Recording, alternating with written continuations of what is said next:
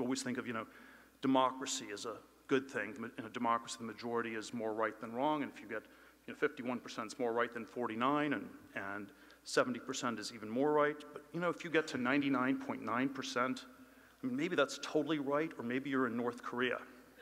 And uh, you have to ask this, this, you know, this very subtle question, a very imp all-important question, where do you sort of shift from the wisdom of crowds to the madness of crowds? Where do these things shift to becoming, you know, a mob or a racket or simply um, something that's, you know, a totalitarian lie?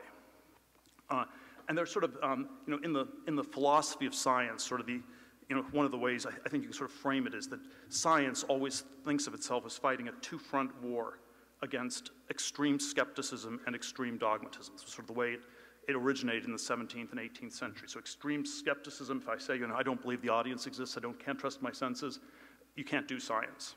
Extreme dogmatism, you know, the Aristotelian notion that the earth can't possibly move, that's probably also bad for science. And of course, in its you know, 18th century version where the scientists style themselves as you know, deists and rationalists and freethinkers of various types, it was always the fight against dogmatism that, uh, that, that was what dominated.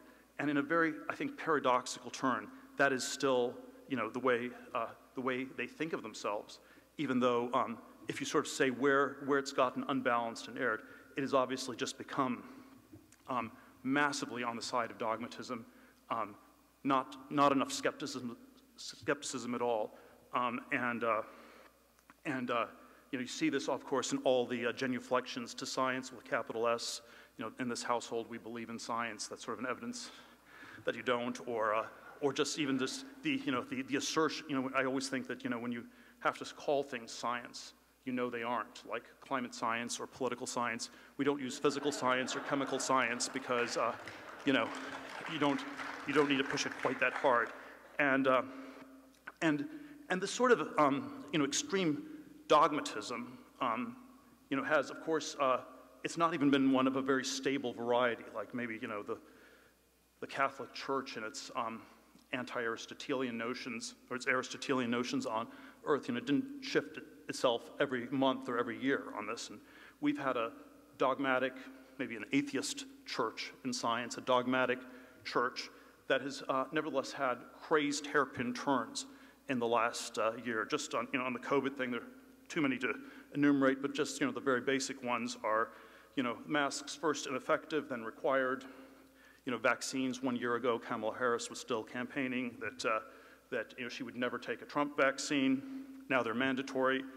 And of course, uh, of course, there's the, uh, you know, the strange history of the lab leak where it was first racist and taboo.